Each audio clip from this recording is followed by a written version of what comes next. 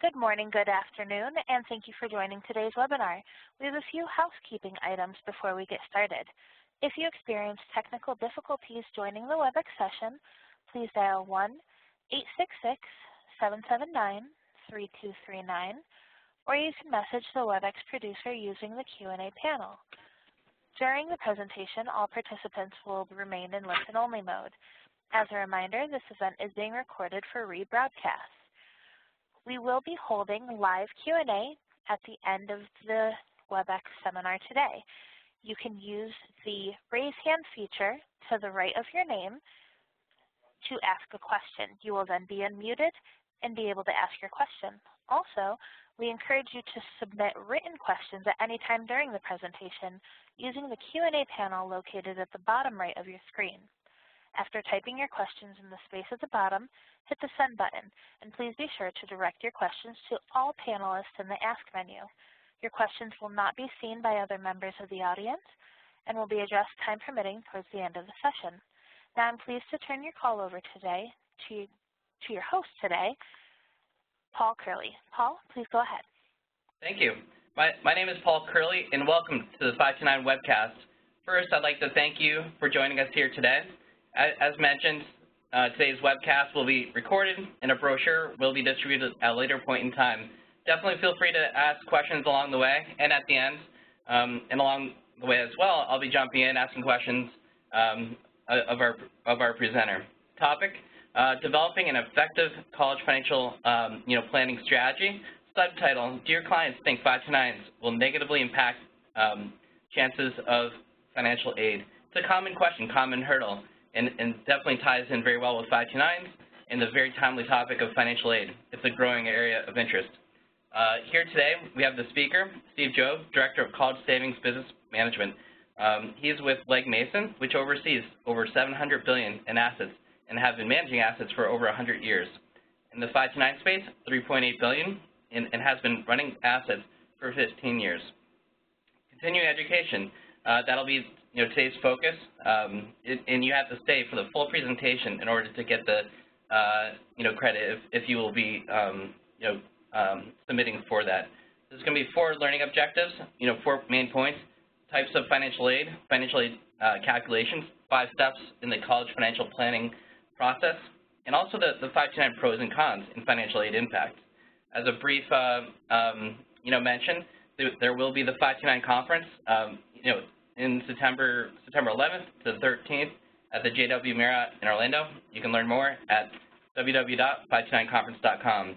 At this point, we'd like to um, welcome Steve Jobe uh, to, to present today's topic. Steve, take it away.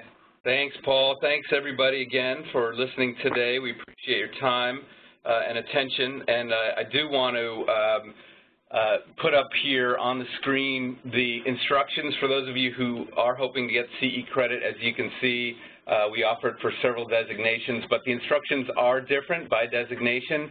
For CFP, we need you to send us an email with your CFP registrant ID, and the uh, email address there is Scholars Choice, all one word, at leggmason.com.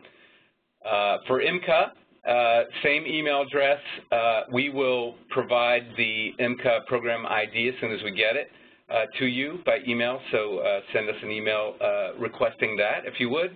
And for everybody else, uh, just uh, this is basically you're on the honor system, keep the, keep the name uh, and today's date of this presentation, and you will be able to get annual certification for that.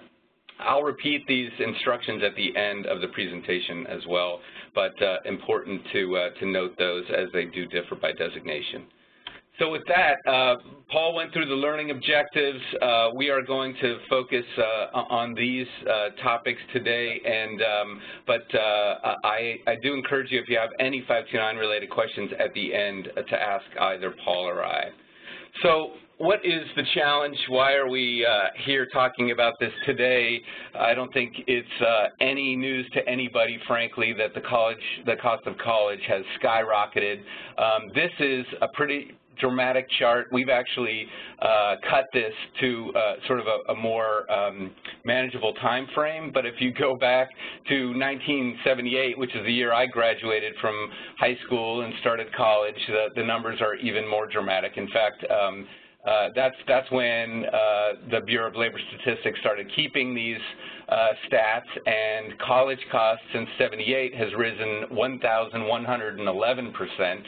Uh, but uh, in this short time frame, when uh, most of you folks probably have been out of college since 1990, uh, the cost of college has risen 347%, and as compared to the overall CPI, you can see there is only 81%, which is already a staggering number. So you can see uh, that uh, college cost has, has risen at a rate um, uh, uh, at, at, various times uh, in that period, significantly outpacing inflation. So that's the problem, of course, and what has that has resulted in? Unfortunately, a mountain of debt for our families and, and their kids coming out of college. And we all know that um, uh, if you've had college debt, you know what a burden that is. But it's it's also a burden on society. It means people put off having kids till later, buying a house, so it has economic impact not only to the individual but the whole country. So we would love to do whatever we can to, to help our clients, help their children, their grandchildren, and ultimately uh, help the whole country. Uh, and this uh, is a quick glimpse at, at uh, the specific college costs. These are averages.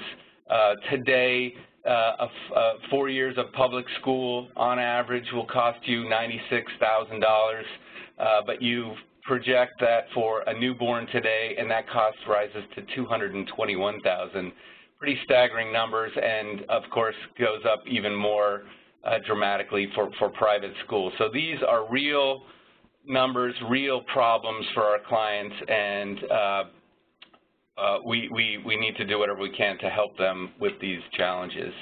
This is, of course, how most of us Americans pay for college. Uh, we've uh, chopped it up into three categories here. The top two uh, being a big focus of ours today, financial aid, which comes, of course, in the form of loans, but also scholarships and grants if you're lucky, and work study if your child or grandchild is willing. Uh, but we like to say that the foundation of any uh, college plan, of course, is, is savings, and we'll talk a little bit more about that as well. So let's focus now on these uh, various sources of financial aid.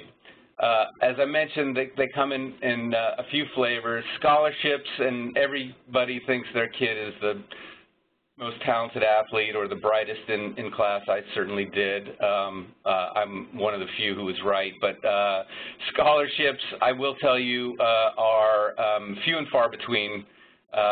They are often needs-based, um, but if it's merit-based uh, for academic or based on, on on a, a student's uh, athletic abilities, um, they are rare and they rarely pay all of college. So that's a, a, something we need to manage our clients' expectations about, and that is scholarships are not as plentiful uh, as they might think, even if they do, in fact, have a kid who's as smart as mine.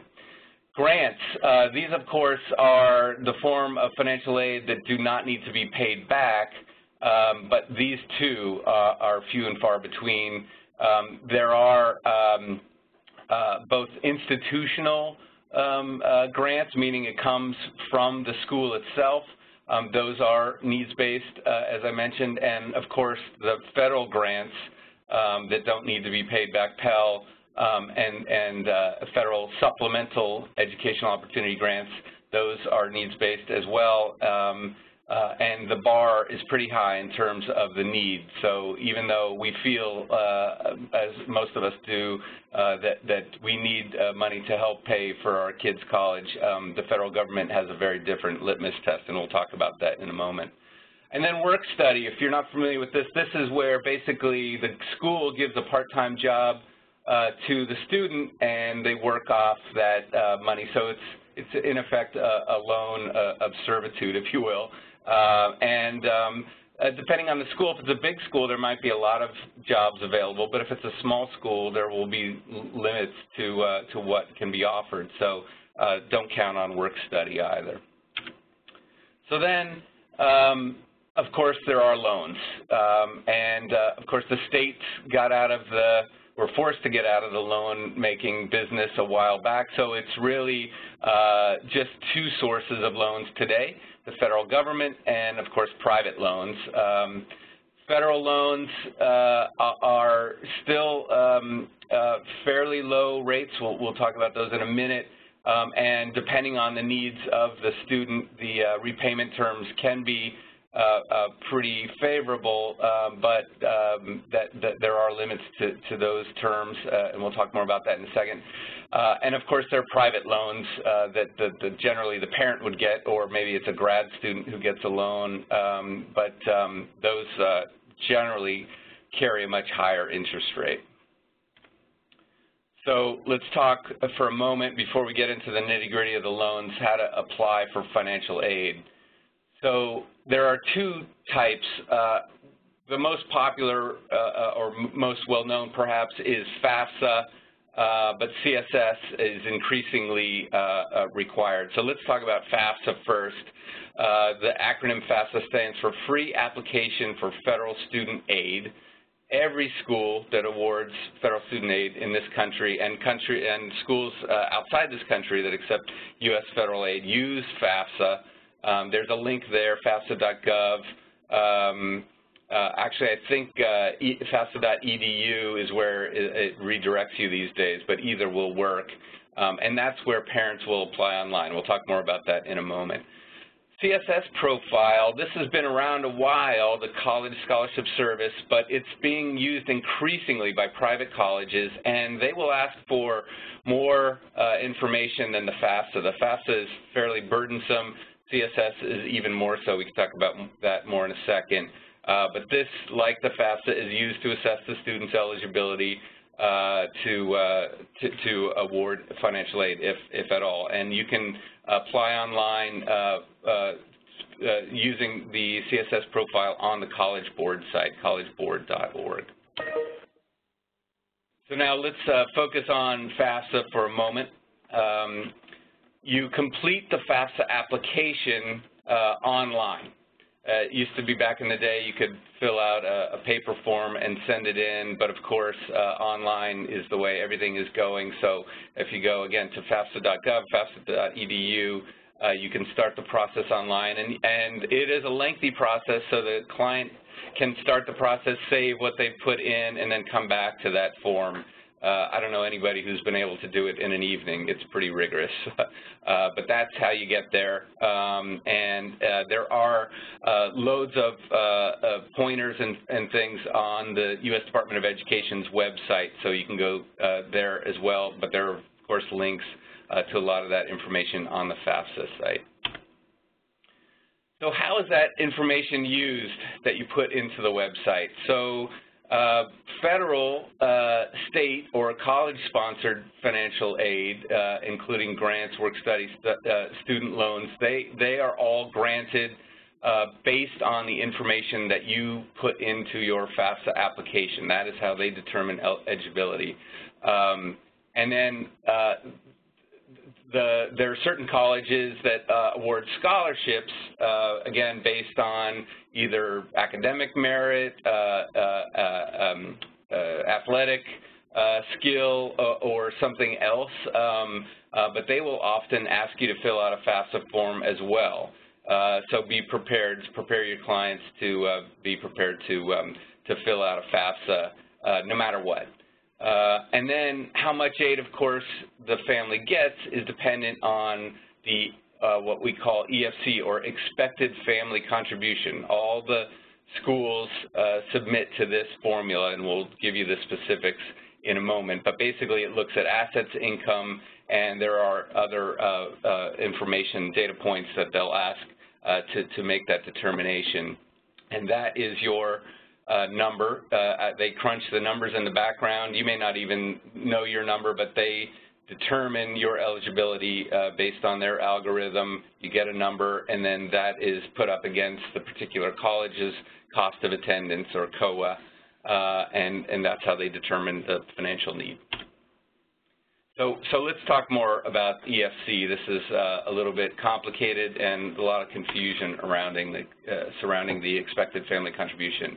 Um, it takes into account, as I mentioned, uh, assets and income of both the student and the parent. And as you can see from this uh, chart here, uh, it's uh, more onerous for uh, the parent, uh, uh, sorry, for the student than it is for the parent. So when you're putting in your FAFSA information, they're looking at assets of the student. that's so that's any account in the student's name and then uh, any, if they had a part-time job last year, uh, they'll ask you to put in that amount and they'll expect uh, some of that to be contributed to the cost of college as well.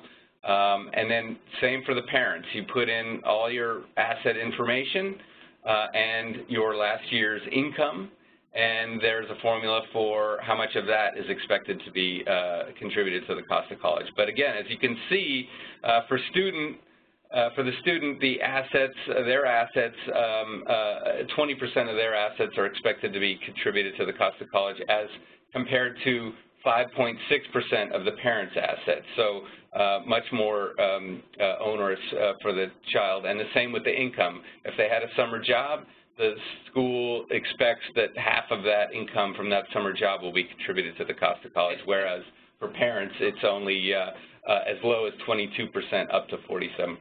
Paul, you had a comment. Yeah, and, and uh, Steve, I, I think another great point is the fact that that income is a much larger driver than, than assets and, and people's savings. So it's it's just like you know look at that percentage, 20% versus 50. It's the income that's the large driver, not not if people save. So. It's it's a great point, and I'm going to come back to that in a moment uh, because uh, some people think they can just kind of tuck away. Uh, uh, assets, hide them, and they'll get financial aid, and many times they won't based on their income. Um, and then, of course, some other factors, including how many children you have um, in the family, uh, and, and then how many you have in, in college at the same time. So oftentimes you'll apply for uh, for financial aid when you just have one kid in college and they'll tell you no, but then you have a second or, or, or God forbid, a third in college at the same time, and you will likely, you know, that formula changes, so you will likely get financial aid in that instance. So be sure to tell your uh, clients to fill out the FAFSA every year, even if they didn't get it the first year, especially uh, if they have more than one child in college.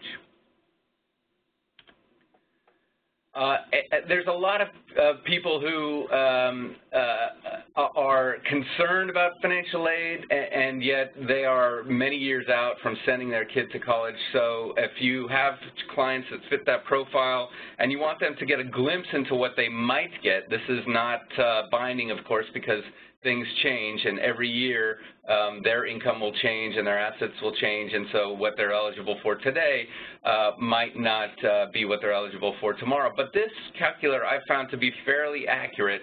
Um, it's probably going to be bad news for your client, but it's probably good that we manage their expectations up front. So I encourage you to look at this calculator on the FAFSA website.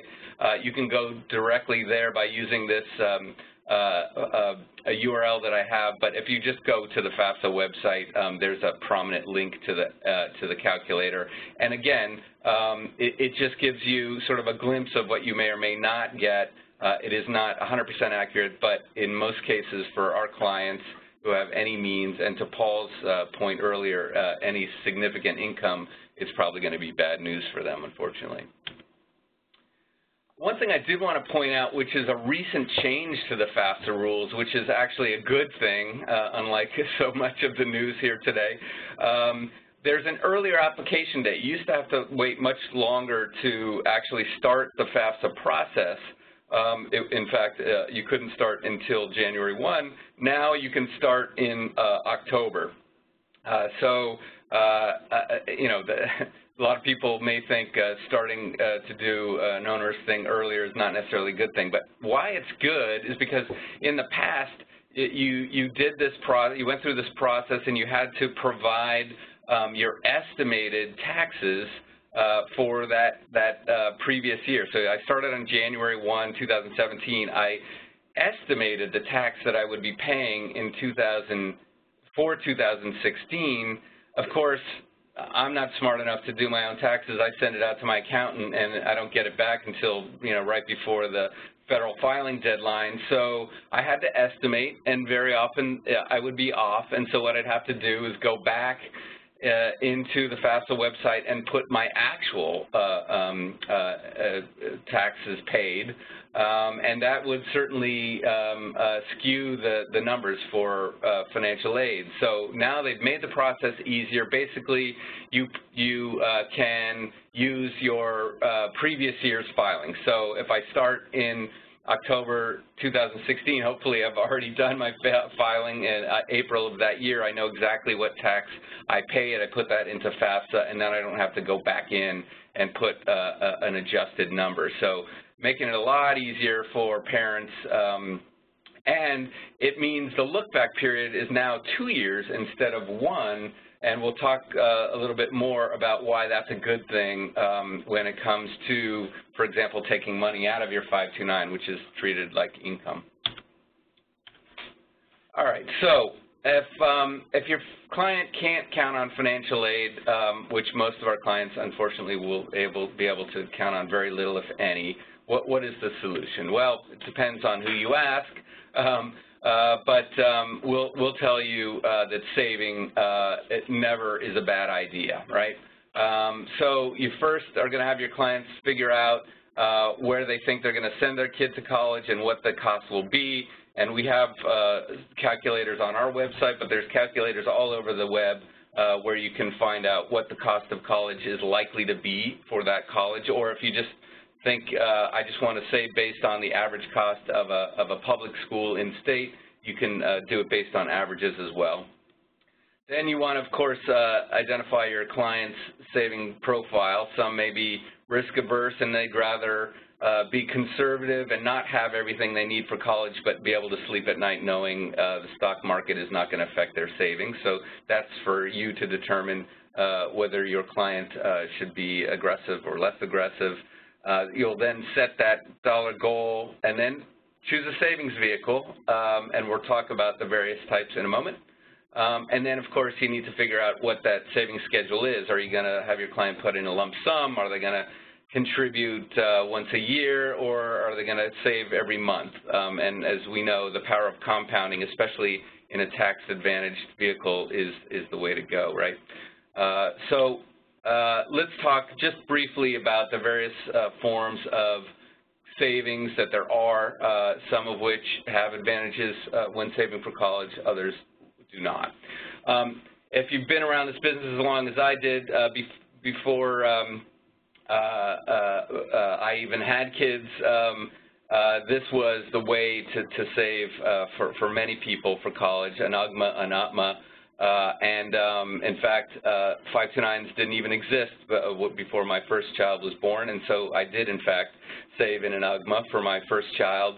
Um, but the good news is if you've got any clients who have UGMAs, that money can be transferred into a 529. The only caveat being, of course, if there is uh, uh, tax due uh, on, on if there's if there's earnings in that UGMA, which I hope there is, then the tax will be due upon liquidation on, uh, upon transfer of those UGMA monies into the 529 because you'll have to liquidate, uh, as you may or may not know, uh, 529s only accept cash, so uh, you can't simply put that UGMA into into the 529. You'll need to liquidate it uh, and then take the cash and put it into a, a 529. So, um, of course, from that point on, the UGMA would be um, uh, uh, tax-free, unlike it is today where you pay uh, year over year on those uh, earnings. Uh, so that would be the reason you would want to consider putting your monies, your, your client's UGMA money into a 529. Of course, there are trusts. A lot of families have trusts. Um, uh, these, as you know, can be costly to uh, set up and maintain, and of course they're taxed at the highest uh, uh, income rate, so trusts are not an ideal way to save for college. The good news here, however, is that you can, uh, uh, trust can be an owner of a 529 plan. A few people know this. Uh, and um, as long as the trust was set up for the benefit of the child or the grandchild or whomever, uh, and education being, of course, a, a, benefit for that child, then uh, the trust can be an owner. Uh, and um, most 529 plans uh, that I'm aware of do allow uh, the trust to be an owner. Savings bonds, I'm dating myself here, but I even have some of these for my kids. I think I probably even have some savings bonds that I haven't cashed in myself. Um, as you know, the government is uh, loath to pay much uh, interest, so this is not an ideal way to save for college. But once again, good news, take savings bond, liquidate it, uh, and it can be put into, the proceeds can be put into a 529. Uh, traditional taxable accounts, of course, can be used, but why would you use a taxable account when there are tax advantage ways, right, to save? Roth IRAs. I know a lot of advisors who uh, think that Roth IRAs are the way to save for college. Um, I personally think it is not a good idea to mingle your retirement and college savings monies in one place. Um, there are also disadvantages uh, to taking out that Roth money and using it uh, for college. Um, so uh, not an ideal way, but, but certainly uh, it is a, a, strategy used by some. Coverdell's were a well-intentioned uh, uh, college savings vehicle, and they did get better uh, to the extent that the, they raised the limits on how much you could put in a Coverdell, um, but the limits on uh, uh, are still pretty um, low, uh, $2,000 per year. And um, if you want to use the money for K through 12, uh, you can use a Coverdell. Uh, but even a private school, uh, elementary school or middle school, for example, uh, I would dare say you're probably not going to have enough money saved if you're only putting $2,000 a year away. Many private schools, K through 12, uh, look like college tuition. So Coverdell, again, well-meaning, probably not the most effective way to save for college. Uh, and lastly, of course I'm biased, but I would uh, uh, dare say that for most Americans, the best way to save for college is in a 529 plan, either a prepaid tuition plan if you know your kid is going to Florida State, uh, because that's where you went, and if they want uh, money from you, that's where they're going, well then a prepaid tuition plan probably makes sense. Uh, but for most of us who want a little more flexibility, a 529 savings plan is probably the way to go. What are the benefits of a 529 plan? Uh, obviously, we've talked about the tax advantages. That's uh, uh, uh, by far the, the, the, biggest advantage of a 529. But some people are unaware of the other advantages of a 529 plan, and this is where you as the financial advisor um, can prove uh, your worth in, in showing them just how uh, flexible and advantageous these plans can be. So we've got gifting and estate planning advantages. We'll talk more about that in a, in a moment. Um, Account owner control, this is a, little known fact um, that really uh, I think is uh, second only to, to, tax advantages in terms of benefit, and we'll talk a little bit uh, more in a moment about uh, the flexibility of 529 plans. Tax advantages, as you well know, at the federal level, uh, you uh, uh, do not pay on any earnings year over year while the money's in there. And then once you take the money out, as long as you use those monies for qualified higher education expenses, there's no tax on those earnings either. And the qualified expenses, of course, are tuition, room and board, fees, books and any other supplies that are required by the school. And I'm happy to say, if you didn't hear, uh, late in 2015, Congress passed uh, some uh, enhancements to the 529 plan uh, section of the Internal Revenue Code that made computers an explicit expense. I think most people assumed they were and were taking them, but um, uh, if they did uh, get audited and, and uh, said that they used the money to pay for computers, if they had a IRS auditor who was not uh, feeling particularly generous, they probably got dinged on those. But now that's an explicit uh, qualified expense. I do also want to mention, uh, if you don't know, room and board is not limited to that paid uh, to the school.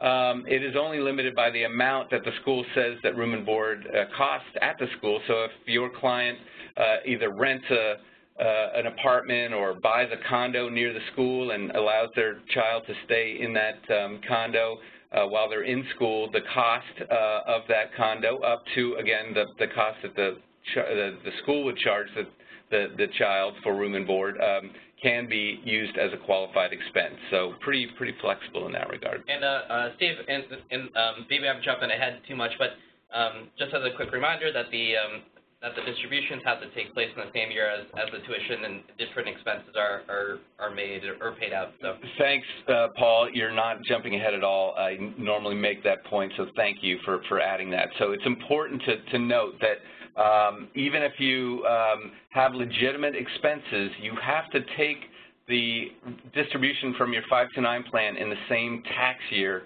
as uh, as the year that the expenses incurred. So uh, this is uh, unfortunately I see sometimes FAs calling me saying, "Oh, my client, you know, forgot to take their money out, and uh, now they need to." Uh, you know, they want to take money out of their 529, but they incurred the expenses last year. Uh, The, the, the, it's bad news, unfortunately, for that client. You have to take the money out in the year that you incur the expense. Thanks, Paul. All right, so uh, at the state level, of course, it differs from state to state, but still fairly generous in a lot of states. Um, and certainly, you're you're not penalized in in any state. There was a, time when certain states, like Illinois, would still tax you if you took money out of a 529, but it wasn't Illinois' uh, plan. Uh, but now uh, there's unification across all the states with regard to taking money out of a 529. But in terms of putting the money into a 529, uh, it depends on which state you're in. So uh, there are uh, more than a couple dozen states um, that either uh, offer an in-state tax deduction or a credit for contribution into the state's plan. Um, uh, and then there are four states um, uh, that offer unlimited state tax deductions because uh, most states um, uh, offer um, uh, up to uh, either the same limit that applies to your annual gift tax exclusion, which is currently, as you know, $14,000. Um, but, but as you can see from these four states, um, there are more generous uh, state tax deductions. Colorado, New Mexico, South Carolina, and West Virginia all offer unlimited state tax deductions. When we say unlimited, it's generally limited by uh, any gross uh, income, uh, but um, but that's still very generous. If I uh, have uh, income of $100,000 in Colorado and I've got four grandkids and put $25,000 into each of those uh, kids' um, 529 plans, then I can effectively show zero income for the state uh, that year. So pretty, pretty generous, a very um, uh, generous deduction in those four states. Then we have uh, uh five what we call tax parity states. These are the states that uh, allow their constituents to put money into a 529 plan, not only in their own state's plan, but any plan. And those five states are Arizona, Kansas, Missouri, Montana, and Pennsylvania. Until recently, that list included Maine, but they no longer offer that. Uh, but, but again, a pretty generous uh, deduction offered by the state um, for for any state plan, and, and I, I laud these states because they're they're losing money. They're not only not getting the, the tax revenue, but they're not getting the money uh, that they would if that uh, if those uh, 529s were opened up in state. So um, very forward-thinking, and uh, I, I uh, uh, hope this trend continues. Lastly, there are 18 states that offer either offer no state tax deduction uh, or they have no state income tax.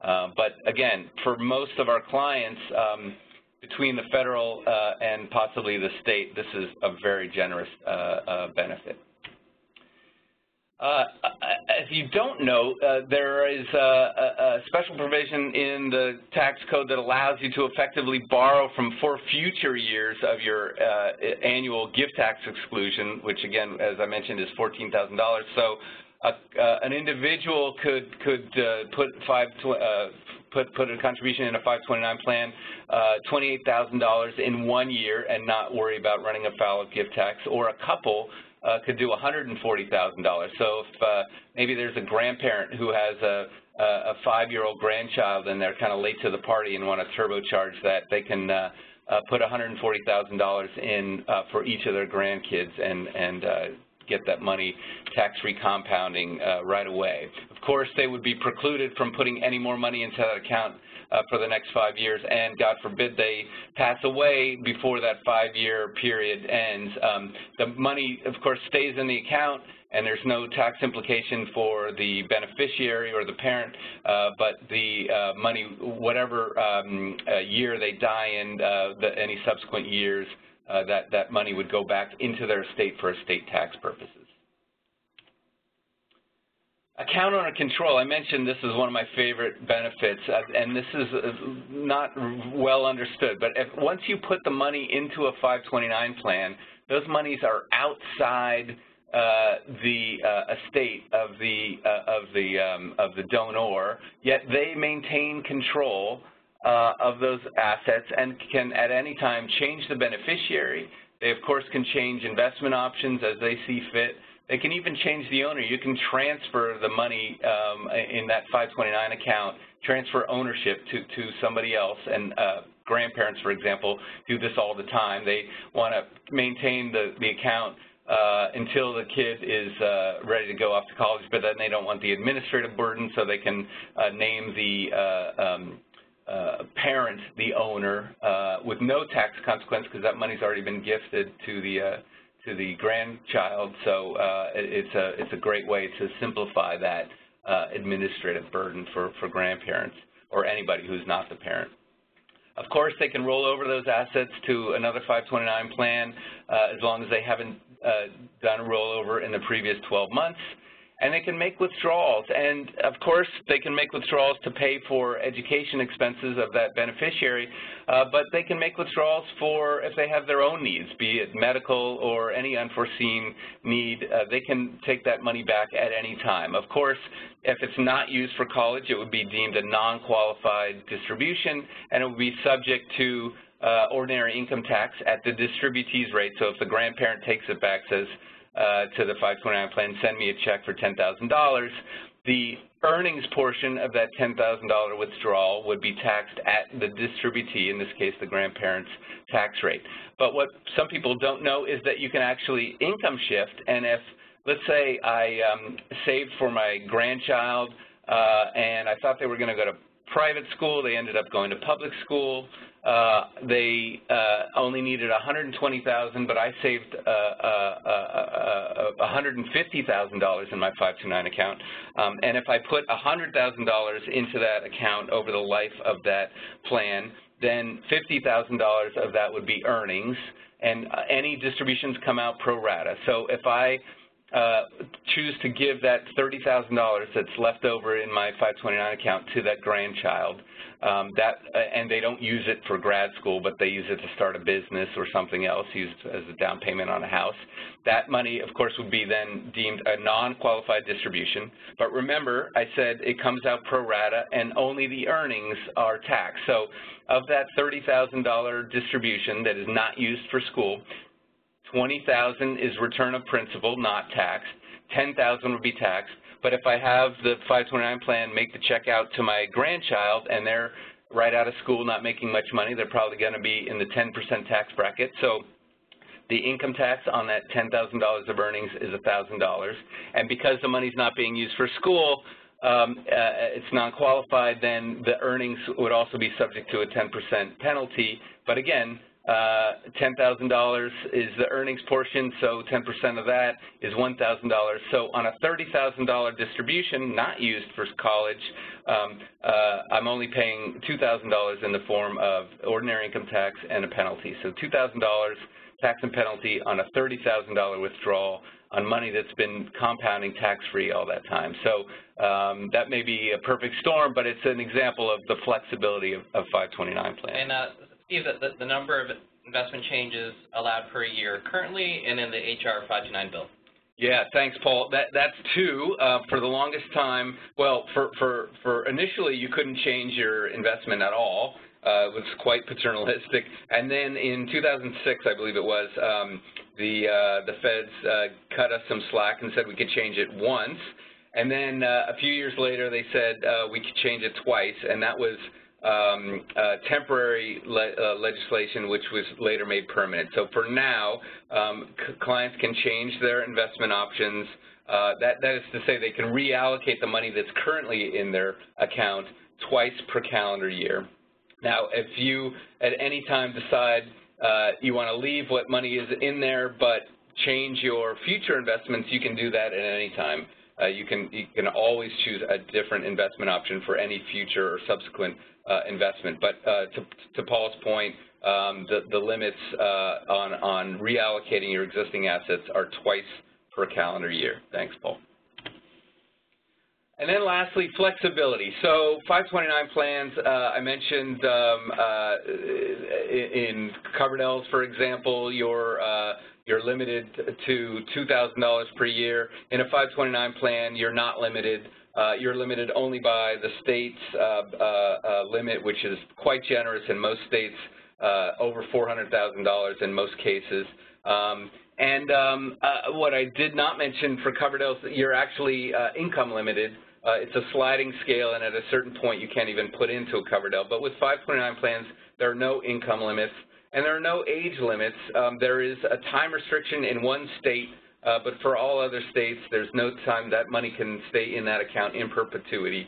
Uh, so if you don't like your grandkid and you want to wait till the next generation, you can do that. Um, anyone can contribute. Um, even an entity, as I mentioned, a trust, for example, can be a, a, an owner of a 529 plan.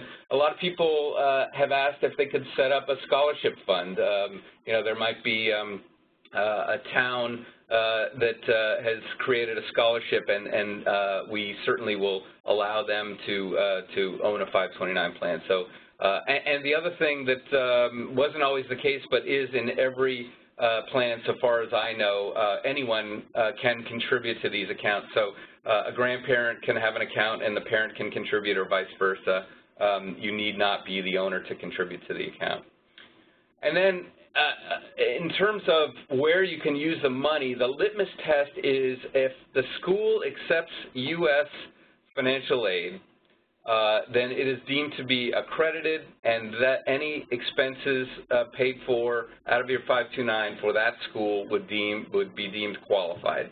So that's of course colleges, universities, vocational schools, a lot of people don't know, trade schools, those also uh, would be deemed qualified. And uh, what a lot of people uh, don't uh, aren't aware of is the fact that you can use the money abroad as well. McGill, for example, in Canada, uh, Cambridge uh, in the UK, but uh, over 500 schools currently would be deemed qualified. And the way you would check that is to go to the FAFSA website, um, and you can do it one of two ways. Um, you can actually put in the name of the school into the um, calculator, and if it returns a code, then you know for sure that that school uh, accepts U.S. federal aid, and that would be a qualified school. But there's also now, I believe, a lookup tool, um, and you can actually uh, look on a, on a list of, of schools uh, to determine whether it's a accredited school for this purpose. All right, so um, if you've been convinced of the power of 529s, uh, but you're worried, you're still worried that uh, it's going to hurt your clients' um, chances of getting financial aid, or they are, and you need to tell them why they shouldn't be worried about that. Uh, let's talk about how 529s are going to uh, affect uh, uh, clients' financial aid chances. So we, we, looked at this table before. What I didn't make clear earlier is that a 529 is actually considered the asset of the parent. And remember, we uh, saw that um, a parent uh, is uh, is um, in a better position, if you will, in terms of the assets um, that are expected to be used for college. You'll remember the child was uh, was 20%, but for the parent, it's up to 5.6%. So uh, as compared to, for example, an UGMA account that maybe somebody opened up for your client's child, um, that would be uh, deemed uh, to be the asset of the child. Uh, so as a, as a parent asset, it is definitely, a 529 is definitely treated um, uh, better uh, than, than, um, than that of, of the child. What we didn't talk about earlier is the fact that if that 529 is held by a grandparent, an aunt, an uncle, a friend, uh, of the family, um, that is completely off the radar screen for um, the purposes of financial aid. They, the, the, the FAFSA will ask how much the parents have in the bank and how much the kid has in the bank, but not how much the grandparents have uh, in, a, in a taxable account or in a, in a 529. So any assets owned by someone other than the child or the parent would be off the radar screen for uh, purposes of, of, determining needs-based aid. Um, I will point out, however, if a grandparent opens up a 529 in the, in the name of the child um, and then takes money out of that 529 and gives it to the child for the purpose of paying for college, that distribution is considered income to the student in which the grandparent took the distribution. And you'll remember earlier we talked about when you're filling out that FAFSA, so you'll want, if possible, to wait until the student is a junior in college to take that money out of the 529 plan. So use any monies in your five in your client's 529 before they use the grandparent's 529, and that way it is not deemed to be income to the student. Or, or uh, you know, I, guess it's also a good point to also, you know, point in time to also point out the, um, you know, that's the other benefit of, of having the, the parents, you know, over, oversee the assets, you know, as opposed to the grandparents, because you know, it's, it's beneficial in that in that one scenario, but obviously grand, grandparents in, in scenario two. So exactly, exactly, for the reasons we stated. So in summary, um, despite, despite what many of your clients think, they're unlikely to get much, if any, uh, needs-based federal student aid. Um, I'll, I'll, tell you a very quick anecdote. Um, I happened to lose my job, uh, unfortunately, uh, when my first child was applying to school. Uh, so I fill out the FAFSA. Um, I was told uh, I would not get any needs-based aid, and then I lost my job, and my my my daughter got into several um, schools, and we went around to those schools and met with the financial aid officer, and I said, hey, things have changed. I lost my job you know, can I, am I entitled to any more uh, federal aid than you uh, told me I would get? Uh, and they looked at my uh, FAFSA form, and um, I was told that my uh, FAFSA number was 99999, which basically means there's no school in the U.S. expensive enough for me to qualify for aid, and that was even after, you know, losing my job. So a, a lot of our clients think they're going to get aid, uh, needs-based aid. They might get merit-based aid. Their kid might be as, as gifted a, a, a piano player or a linebacker as they think, but they're not likely to get needs-based aid. Um, and if they do, it's probably going to come in the form of a loan or work study uh, but not a grant that they don't have to pay back. So that's that's the harsh truth, unfortunately, for many of our clients. And as we just said, uh, if you have a 529 plan account, it's going to affect your client's uh, EFC less than if the student had that money in their name, for example, in an UGMA, um, and and certainly far less um, than the parent's income, which is is what really kills Paul's point earlier, the income uh, counts for so much more than assets, so that's usually the disqualifier right out of the gate. But again, if that 529 is owned by a person other than the parent or the student, it's off the radar screen for the EFC calculation, so remember that. All right, so I do want to point out here, we've got some resources, um, and uh, Paul will make this available uh, um, on, on the uh, strategic uh, insight website uh, um, uh, eventually. Of course, we've got to run it through the compliance folks, but um, these uh, uh, website addresses will be available to you uh, if you're not quick enough to, to jot them down here. but these are some great sources to pass along to your clients. Scholarships, you'd be surprised the things they give money for, so I encourage you to encourage your clients to apply for any and all scholarships. Um, grants, uh, here's the, the, the, website where you can find out what grants are available, but again, that's, uh, that's on a needs-based and most of our clients will not uh, be eligible. And work study information can be found on that same studentaid.ed uh, website. And then uh, uh, student loans we, we talked about earlier, Perkins loans are the, are the loans these are all federal loans, but, but the Perkins loan is actually um, uh, administered by the school. They're the lender. Um, and then these other three, uh, the two Stafford loans, one is subsidized, one is unsubsidized. The subsidized is needs-based, unsubsidized is not.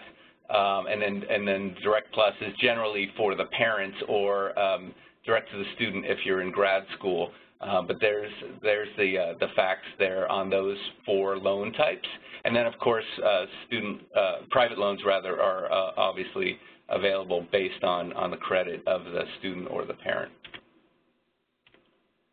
So uh, you've uh, withstood the 50 minutes of CE training, so you're all entitled to that CE credit now uh, if you want it. Um, but if you'll indulge, I have just a, a quick commercial for the Legg Mason plan. I'll uh, hurry through this so that we can get to your questions at the end of this.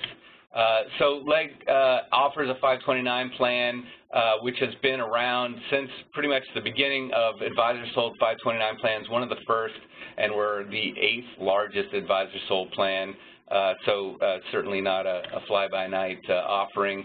Um, and it's not me uh, figuring out uh, which Legg funds to put this uh, the money in, but rather QS, one of our affiliates, who is a multi-asset strategy expert, doing the um, uh, portfolio construction, and they're monitoring the funds on an ongoing basis, and we throw funds out if they underperform and, and put funds in uh, that are better performers. So um, it is uh, a, a, a, bed, a better performing plan as a result of that oversight that's uh, happening constantly. And it's a multi-manager open architecture plan. Uh, the, the Legg Mason affiliates are listed there, but we also have some non-prop uh, managers in our plan, including Franklin and Thornburg. Uh, so it is um, a multi-manager plan, which I think appeals to a lot of uh, advisors and their clients. We get uh, high marks from SavingForCollege.com. Uh, we are currently ranked uh, number three for our performance in the one, three, and five-year period. that's in, including the sales charge. Uh, and uh, we get a five cap rating in Colorado and a four and a half cap rating for non-residents, which is a very high rating for, for non-residents uh, uh by SavingForCollege.com. We have among the lowest fees, in fact, the third lowest asset-based fees among all the uh, actively managed advisor-sold plans. We're pretty proud of that. We have no program management fee, and for the Legg funds, we use the institutional share class. So uh, very low uh, fees overall, and our uh, pricing is very competitive. Low upfront 3.5% sales charge, and if your clients are fortunate enough to have enough money to pool together $500,000 for a number of grandkids, for example, they'll get NAV pricing at a half a million dollars. And then lastly, our C, of course, has no upfront sales charge like every other C, but we have no back-end uh, sales charge either, so um, a, a liquid C offering there.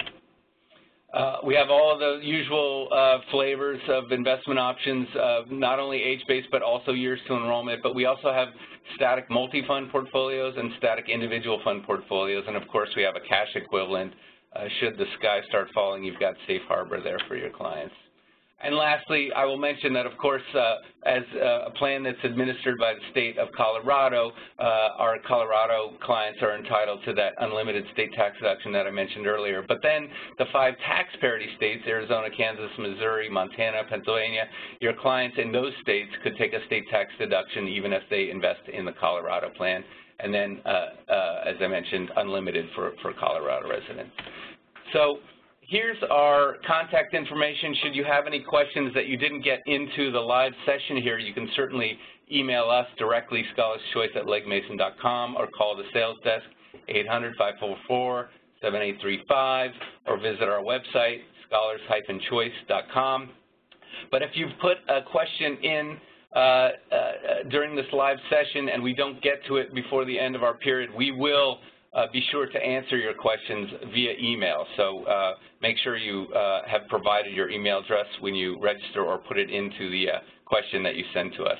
And with that, I'd like to turn it back to Tori, who will open up the lines for any questions for either Paul or myself. We are now opening the floor to ask verbal questions. Please use the hand icon at the bottom of the participants panel to indicate that you'd like to speak. And it looks like we have Janet Friedman with her hand up. I'm going to, um, another piece of information, the only way that we can actually unmute your line is if you are called in. You can call in using the Event Info tab at the top of your page.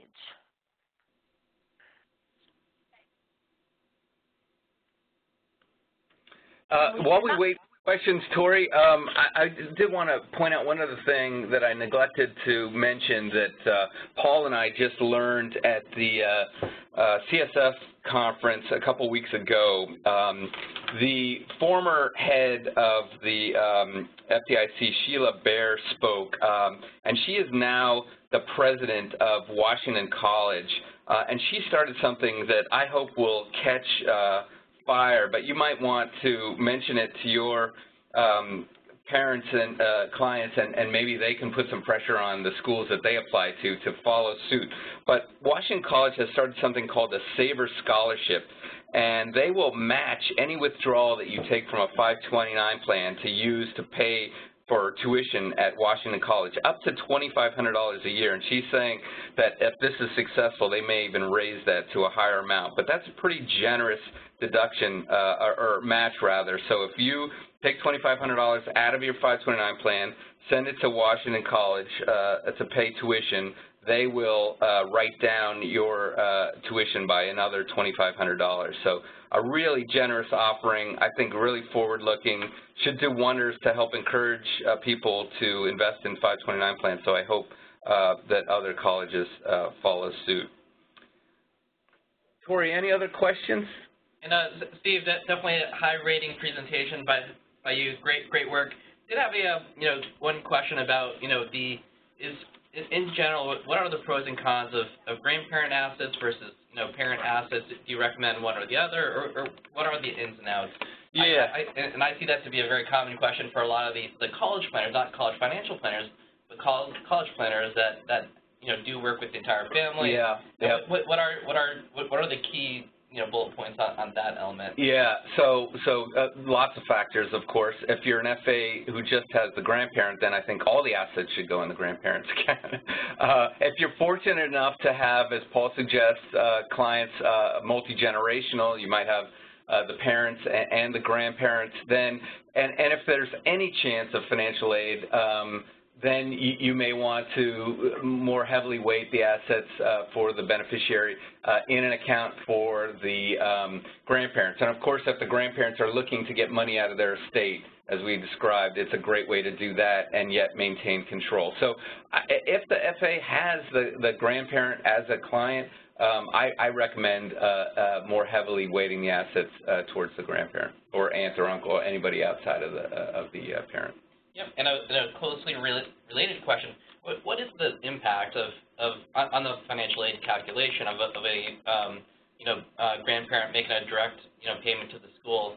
Is that the um, is that considered the income of the of the student, 50% in, uh, income impact um, on the calculation? Do you want to provide some color on that? Yeah, yeah, yeah, that's right. So um, if, uh, if, if if, if, financial aid is not an issue um, uh, and uh, the, the grandparent has the wherewithal to, uh, you know, just write a, check out of their out of their income or assets, then that's a, that's a great place for people to be um, because, of course, the the uh, grandparent can do that with no uh, gifting or tax implications. Um, but yes, it, it is deemed to be income of the student, uh, whether it comes from the grandparent or anybody else. Uh, if they uh, if they do a direct uh, deposit into to, to, offset the cost of of, of tuition for that for that Benny. Yep, and, and back to the you know, um, you know parents and, and students. The um, you want to touch upon briefly the, the asset protection, the, the income protection piece of the of the EFC calculation, or? Uh, uh, so, sure. So, uh, sorry, creditor protection is that what you're referring the, to? The, the, the, the asset protection, like the, the like the first you know, little piece of, of the, uh, you know, assets for the parents, um, you know, not being count, counted in the, in the calculation. Uh, just, just, just want to provide a, like a quick yeah. note that there is that, that, that concept's there. Yeah. So, so of course, uh, I, I think I neglected to mention that um, not all assets are considered uh, in the EFC. So if you had any retirement assets, for example, um, that would uh, not go into the formula.